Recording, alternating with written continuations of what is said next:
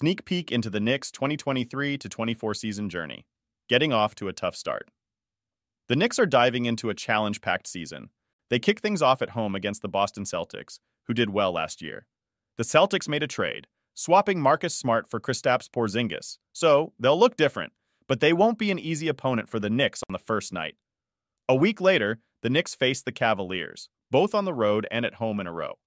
In the early part of the season, the Knicks are up against 12 teams that were in the play in tournament last time, and out of those, 11 teams made it to the playoffs in 2023.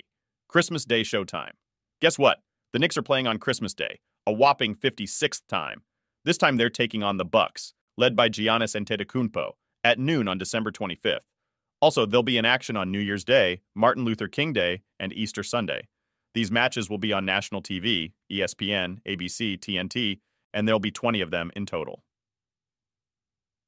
Old friends return to town.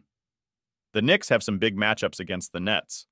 They face off in Brooklyn and then host them twice near the end of the season. The rivalry heats up as Jalen Brunson, Josh Hart, and Donte DiVincenzo, former Villanova teammates turned Knicks players, go head to head with the Nets' Mikal Bridges. The Nets also have some reunion games. Kevin Durant returns with the Suns, and Kyrie Irving with the Mavs. In early February, there's a familiar face at MSG.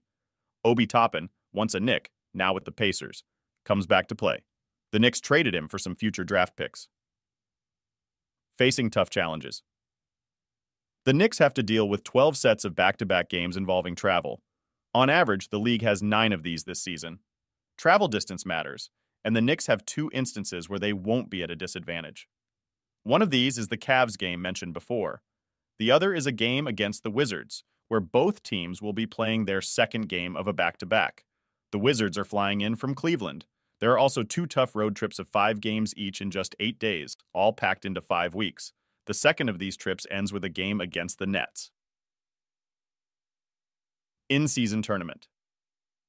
The schedule shows 80 games listed, but two of them are to be determined, TBD, for dates and opponents. These are set aside for the NBA in season tournament's knockout rounds. The group play happens from November 3rd to 23. The two TBD games will take place in the week of December 4th, which marks the start of the knockout rounds. Eight teams will make it to these knockout rounds. It's a series of knockout games quarterfinals on December 4th and 5, semifinals on December 7th, and the championship on December 9th. So there you have it a peek into what the Knicks' upcoming season has in store. Get ready for some exciting basketball action.